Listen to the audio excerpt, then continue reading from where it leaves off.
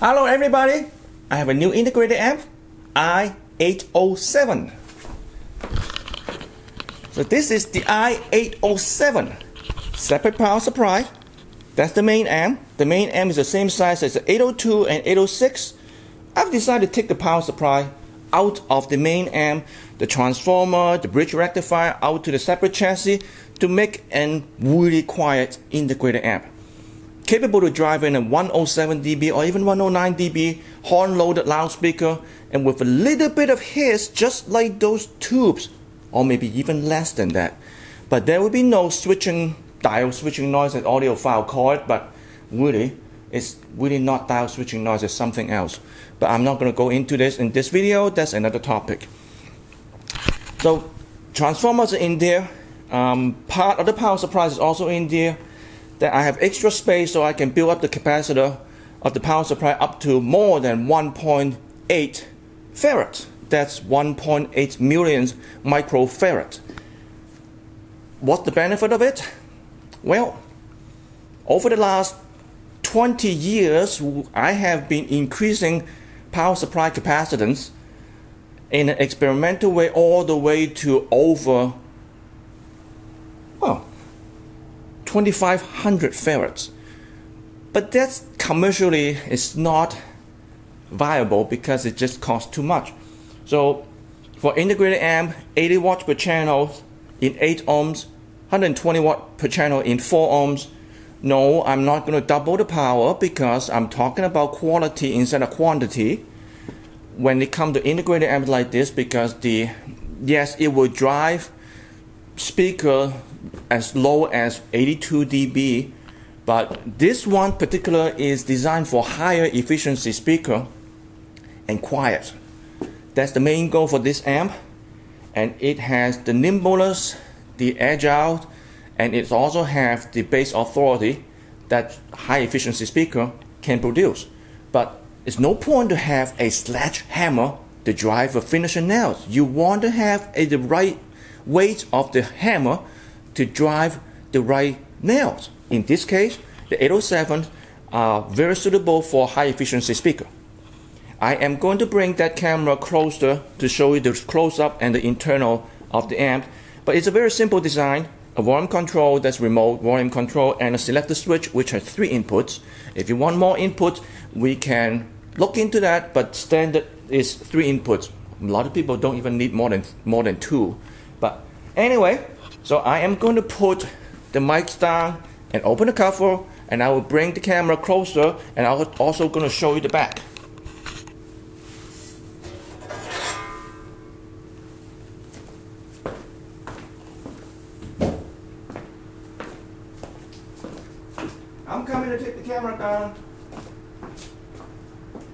Be aware when I take the camera down, it will be shaky. Close your eyes if you get seasick.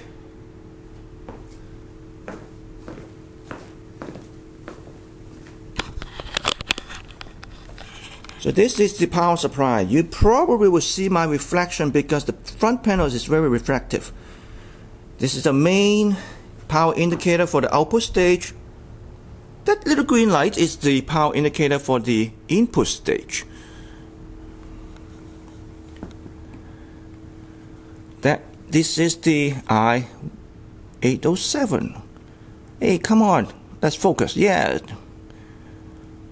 Volume control and select the switch. Nothing complicated, it's just two knobs and that's also the power indicator for the output stage. Now going to the inside, I'm gonna put down the mic, put down my glasses. I purposely leave those big curved wire and that's a natural band of wires I don't put any stretch on the wire as little as possible. Really, as little as possible. These are four output stages and four sets of orange and blue wire going to the output stage and they're all natural band. I'm going to go to the back and look at this. Yeah, well, recently some people saying like that's kind of like a snake pit or something. But if you look close enough, if you actually can look close enough, those wires are very comfortably sit at their spot with a gentle slope and gentle curve of every one of them have a little gentle curve so you can see they are not tight tightly bounded even even this I'm gonna put down the light. Okay that's the light here. Even these things you see the wire tie? The wire tie is actually you can turn the wire tie. It's move. It's loosely loosely bound to the wire. It's not tight at all. The reason for that is I want to loosely couple so they, the signal wire don't couple directly tightly coupled to the power wire.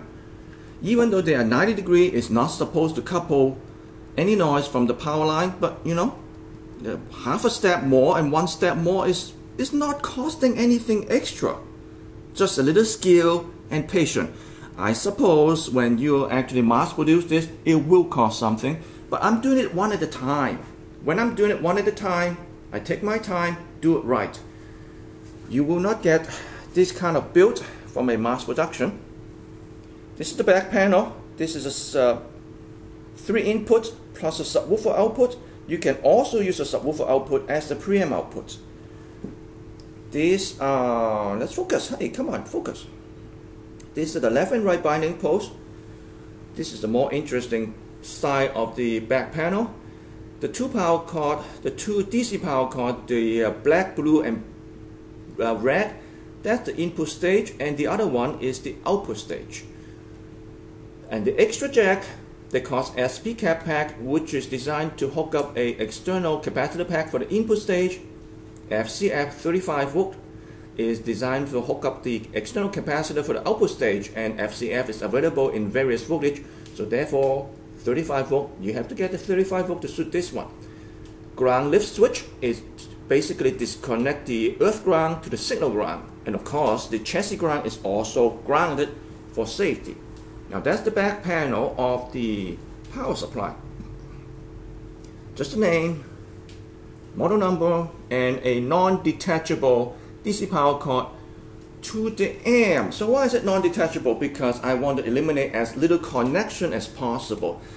The less connection it is, the better it is. But for convenience, I still have to put a connection on the amp side of the cable it's you know it's has I try to get as good as possible but it still has to be practical. Two two chassis together is almost more than 60 pounds 30 kilogram.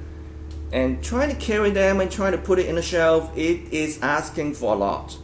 Uh, some installations are just not possible so there is a connection. Uh, notice these two cable together have three separate grounds that is designed to have the quietest possible noise floor. And more ground is not going to have less noise floor less ground not necessarily going to have higher noise floor. The right amount of ground is the most important thing. So it is it depends on the design. So to determine how many grounds you need. So that's another topic for another time and I am going to put the camera back on the tripod light to the back mic with me. So that is the end of the video. And if you want to look uh, see more details of this integrated amp I will put picture on the website in, and on my Flickr page. There now you don't get seasickness.